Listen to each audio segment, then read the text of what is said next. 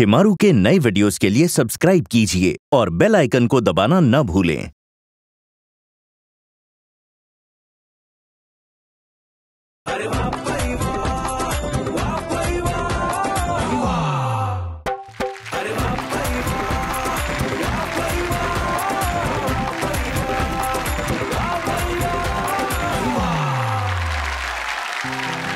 प्रत्यक्ष वाह और देखिए, प्रतीक्षा खत्म हो गई, इंतज़ार समाप्त हो गया। मैं आ गया हूँ और जब मैं आ गया हूँ तो आप भूल जाइए, सारी परेशानियाँ उन्हें अलग से रख दीजिए और बस ये सोचिए कि मुस्कुराना कैसे, हंसना कैसे, ठाक कैसे लगाने, तालियाँ कैसे बजानी और कैसे कहना है। वाह! भाई, वाह! मैं जब आजकल के बच्चों को देखता हूँ तो बड़ा खुश होता हूँ। क्योंकि क्या कमाल के लोग हैं। हमारे जमाने में तुम्हारी अक्ल इतनी चलती नहीं थी। काश ऐसी चली होती। जैसे क्लास में एक टीचर बच्चों को इंप्रेस करने के लिए, तुम्हें मालूम है तुम्हारी तरह था ना, जब इतना सा तुम्हारे जितना तो मोमबत्ती की रोशनी में पढ़ाई कर रहा था। रोज मोमबत्ती की रोशनी में पढ़ाई करता था। एक खा गया, इतना ही पढ़ने का शौक था, दिन में पढ़ लेते थे।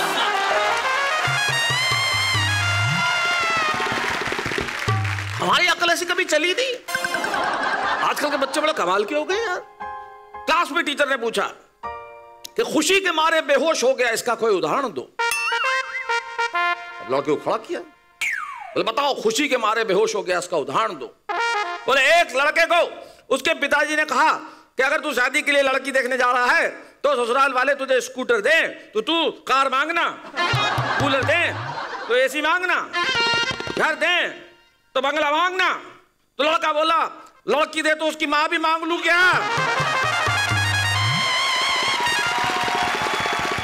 ये सुनते ही बाप खुशी के मारे में होश हो गया। क्या उदाहरण दिया खुशी के मारे बेहोश हो जाने का? फिर जमाने बदल गया ना आजकल का लड़का तो हीरो हो गए थोड़े से।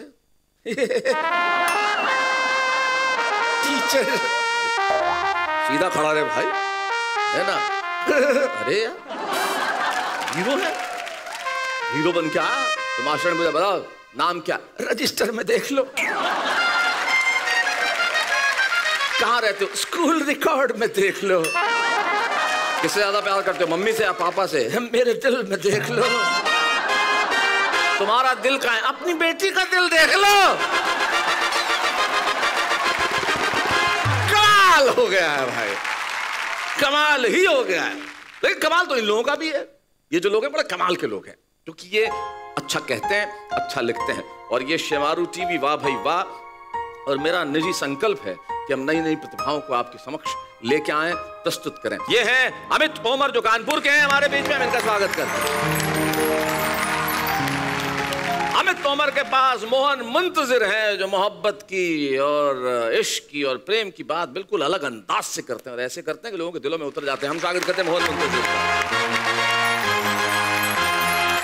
और मोहन मुंतजिर के पास ये जो बंद गले का सूट पहन के जो शानदार से लग रहे हैं, एकदम नीले नीले रंग का। और अच्छा लग रहा है वैसे तुम्हें, है ना? ऐसा लग रहा है जैसे बस सगाई अभी होने ही वाली है या बस हो ही जाएगी आज इस सूट के चक्कर में। ये है दीपक शुक्ला दरादन जो भोपाल से हमारे बीच में तो चलिए सबसे पहले उसे बुलाते हैं। हमें तो अमर जोरदार तालियों के साथ। आप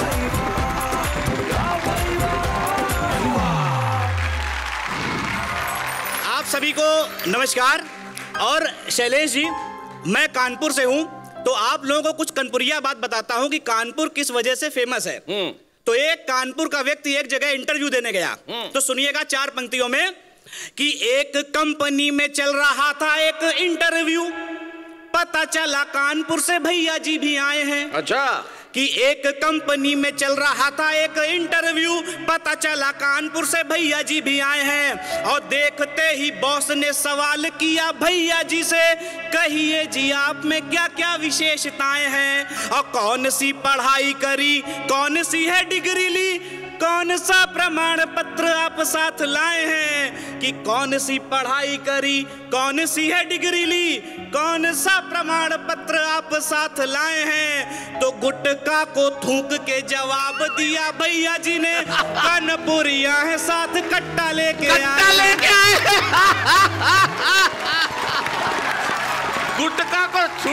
जवाब दिया भैया जी ने। कनपुरिया साथ कट्टा लेके आए हैं। क्या बात है वाह। और शैलेश जी यहाँ पर बहुत सारी महिला शक्ति बैठी है।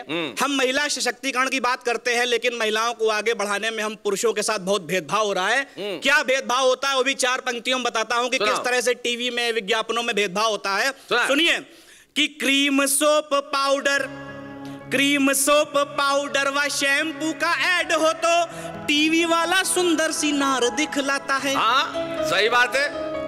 कि क्रीम सोप पाउडर व शैम्पू का ऐड हो तो टीवी वाला सुंदर सी नार दिखलाता है। और बाबा सिर दाद खाज खुजली की बात हो तो ऐसे विज्ञापनों में मर्द लिया जाता है अरे बहुत सही कहा यार। बिल्कुल सही बात है। आज तो खुजली है तो आदमी दिखेगा यार। सुनिएगा कि क्रीम सोप पाउडर व शैम्पू का ऐड हो तो टीवी वाला सुंदर सी नार दिखलाता है। और बावासीर दाद खाज खुजली की बात हो तो ऐसे विज्ञापनों में मर्द लिया जाता है। और पुरुषों के साथ ये जो हो रहा है भेदभाव सच मैं कहूँ तो अब सहा नहीं जाता है। और लड़की हो सीधी तो कहेंगे है ये गाय जैसी। लड़का हो सीधा तो वो गधा कहे। बहुत बढ़िया। शैलेश जी अभी कुछ दिन पहले लॉकडाउन का समय चल रहा था तो इन लड़कियों के साथ एक समस्या आ रही थी। हम्म। ये अपने बॉयफ्रेंड से मिल नहीं पा रही थी। तो एक लड़की ने अपनी माँ से बहाना किया कि मैं भोले बाबा के मंदिर जा रही हूँ और अपने बॉयफ्रेंड से मिलने चली गई। बहाना और हाँ और जब लौट के आई तो उसको बड़ी ग्लानी हो रही मैं है। तुझसे मिलना आई मंदिर जाने के बहाने हाँ? बिल्कुल तो उसको ग्लानी क्या हो रही है कि वो मंदिर नहीं जा पाई तो भोले बाबा से वो माफ़ी मांग रही है। हाँ। माफ़ी कैसे मान रही है? सुनिएगा। सुना। वो क्या कह रही कि मुझको माफ़ी दे दो शिवजी। मुझको माफ़ी दे दो शिवजी मंदिर पहुँच ना पाई मैं और बाबा तेरा नाम बताकर बाबू से मिलाई। वाह बहुत बढ़िया। वो बोल रही कि मुझको माफ़ी दे दो शिवजी मंदिर पहुँच ना पाई मैं और बाबा तेरा नाम बताकर बाबू से मिलाई मैं। और क्या कह रही? कि थोड़ा माँ से समय मिला था। थोड़ा माँ से समय मिला था मेरी भी मजबूरी थी लेकिन बबलू के संग मूवी जानी बहुत ज़रूरी ज़रूरी थी। लेकिन बबलू के संग मूवी जानी बहुत ज़रूरी थी। और क्या कह रही? कि समय बहुत लगता है बाबा। समय बहुत लगता है बाबा, मॉल में आने जाने में। और बाकी बचा समय भी लग गया पिज्जा बर्गर खाने में। और वरना तुम्हें पता है भोले, सुबह सवेरे जगती हूँ, मंदिर भी जाती हूँ तेरे, व्रत भी सारे रखती हूँ। और आज हुई है गलती मुझसे, जल तक चढ़ा न पाई मैं। और बाबा तेरा नाम बताकर बाबू से मिला। वाह वाह, क्या बात है हमें बहुत बढ़िया।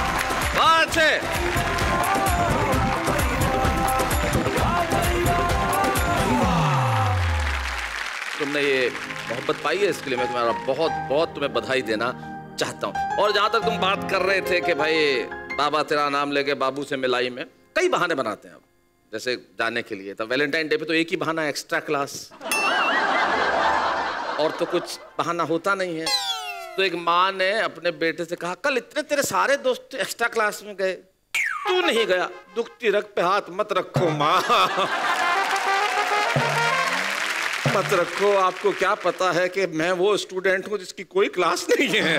तो जीवन में क्लास होना बड़ा आवश्यक है। जो अगला कभी बड़ी क्लासी बातें करता है और बड़ी मोहब्बत से रची, बसी, लदी बातें करता है और अपने अंदाज में करता है। और जो तुम कह रहे थे, लड़कों के साथ भेदभाव हो रहा है, वो आएगा और बताएगा कि लड़कों के साथ भेदभाव किस तरह से नहीं होना चाहिए। मोहन मुंतजिर जोरदार तालियों के साथ।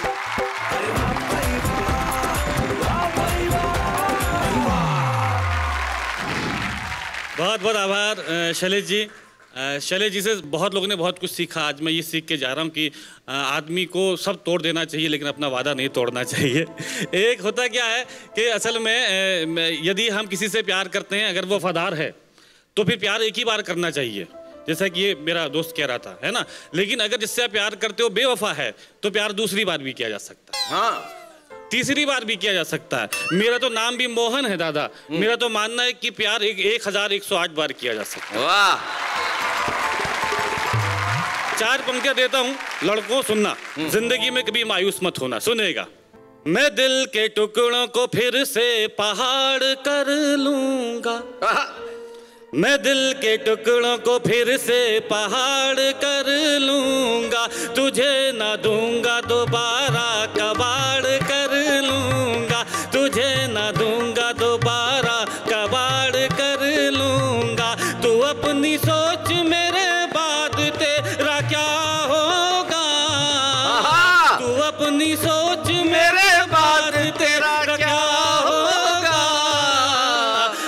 अपना कोई ना कोई जुगाड़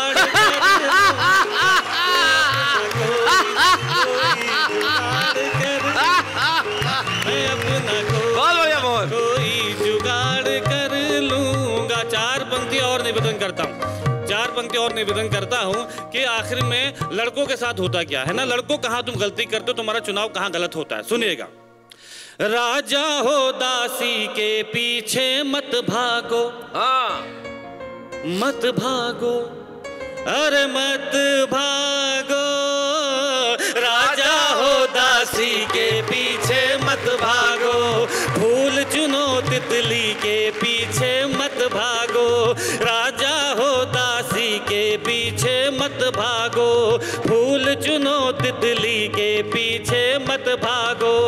लड़की ढूंढो, यार हिरन जैसी कोई। लड़की ढूंढो, यार हिरन जैसी कोई। अरे शेरों, तुम मुर्गी के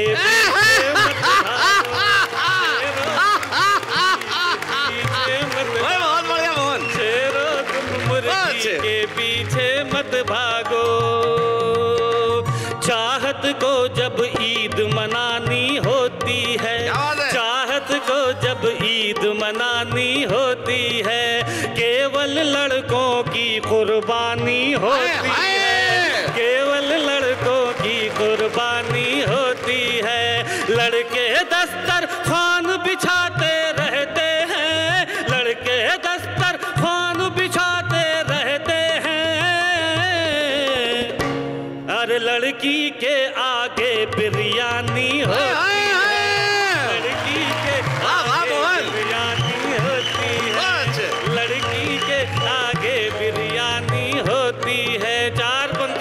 करता हूँ। कभी भी ज़िंदगी में जैसे कि इसने कहा था मेरे भाई ने लेकिन कभी भी ज़िंदगी में आपको हार नहीं माननी चाहिए है ना? ये ये चार पंक्तियाँ निवेदन करता हूँ इसके बाद मैंने भी हार नहीं मानी शैलेश जी। जी। ये सुनेगा। सुनाओ मोहन। खुदा इतना बता दे हमको जीना है या मर जाए। आहा, हमारे वास्ते कोई हसीना है या मर जाए। खुदा इतना जीना है या मर जाए, हमारे वास्ते कोई हसीना है या मर जाए, किसी के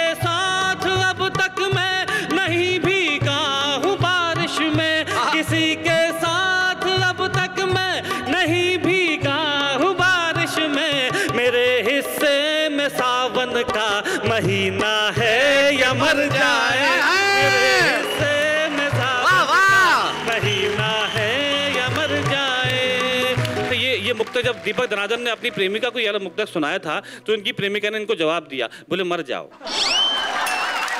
चार पंक्ति और निवेदन करता हूँ खुददारी की उसके बाद अपना स्थान लेता हाँ, हूँ चार पंक्तियाँ खुददारी की कि अगर लड़कियाँ बहुत अच्छी हैं तो लड़के भी हम बहुत अच्छे हैं।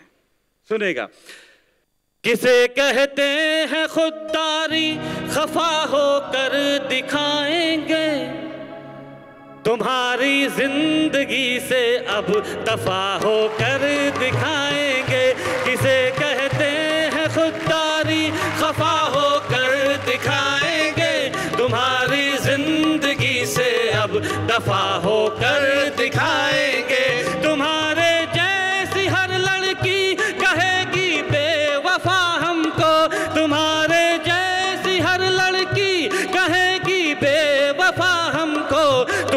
तुमसे बड़े हम बे वफा हो। कर दिखाएँगे।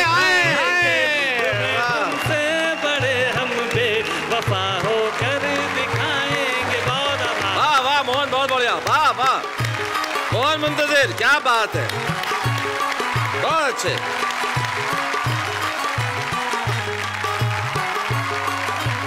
बहुत टूटे हो जालिम। ये जब दर्द निकल निकल के आ रहा है ना।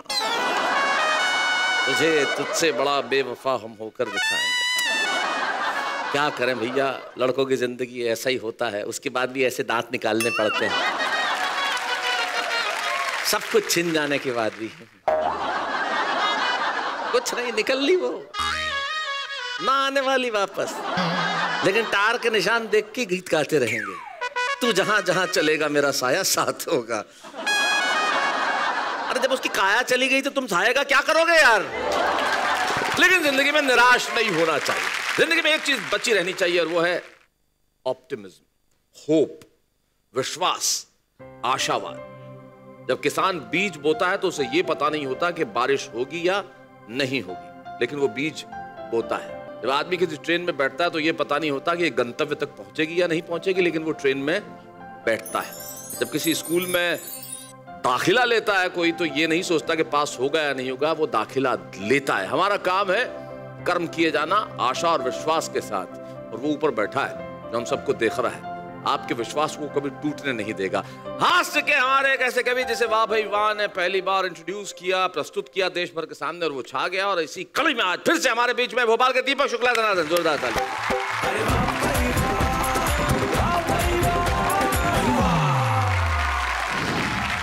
बहुत बहुत धन्यवाद सर। प्रेम की बात चल रही थी तो प्रेम से याद आया कि एक ज़माना था जब मोबाइल नहीं चलते थे तो प्रेमी प्रेम का एक दूसरे को प्रेम पत्र लिखते थे। और एक दौर वो आया कि जब खून से प्रेम पत्र लिखे जाने लगे। हाँ। तो क्या हुआ सुनिएगा। लिखता हूँ खून से शाही न समझना। लिखा जाता था। लिखता हूँ खून से शाही न समझना। छोड़ दे आगे। तो मेरे एक मित्र ने भी प्रेम पत्र लिखे कई और फिर क्या हुआ? प्रेम पत्र लिखता था प्रेमिका को खून से मैं लिखता था प्यार भरे अरमा निकाल कर। अच्छा। प्रेम पत्र लिखता था प्रेमिका को खून से मैं लिखता था प्यार भरे अरमा निकाल कर। प्रेमिका भी चूमती थी पत्र तो बीमार हुई कहा के मलेरिया है डॉक्टर ने जाँच कर।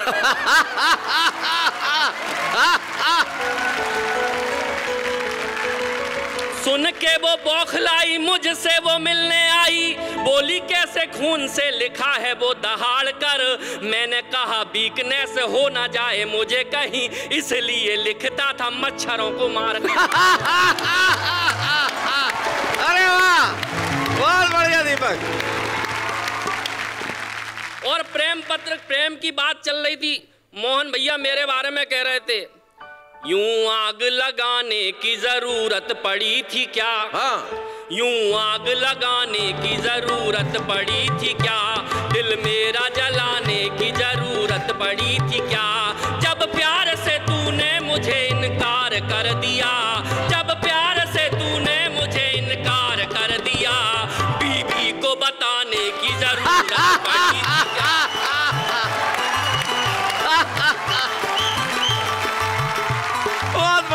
दीपक बहुत अच्छे।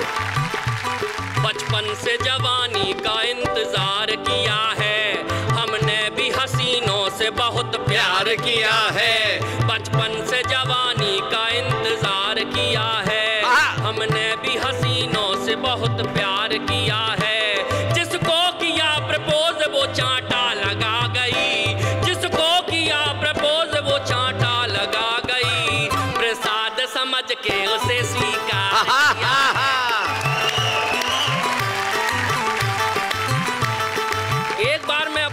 को शॉपिंग कराने ले गया गोल्ड की शॉप पर।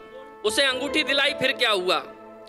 पत्नी को सोने की अंगूठी जो दिलाई मैंने सेल्स गर्ल से कहा कि रेट कम कीजिए। हाँ हाँ करता हिंदुस्तानी आदमी करता बिल्कुल। हाँ। पत्नी को सोने की अंगूठी जो दिलाई मैंने सेल्स गर्ल से कहा कि रेट कम कीजिए। सेल्स गर्ल बोली सर आप हैं हमारे खास रेट पे ना जाइए यूँ चाय शाय पीजिए आपको ही देख के लगाए मैंने रेट कम। तो मैंने कहा थोड़ा और मुझे देख लीजिए। वाह वाह। आपको ही देख के लगाए मैंने रेट कम। मैंने कहा थोड़ा और मुझे देख लीजिए। पत्नी ने कहा यदि ऐसी कोई बात है तो रखिए इन्हें। अंगूठी मुफ़्त में ही दी। हाय हाय। वाह वाह वाह। बहुत बढ़िया। बहुत अच्छे।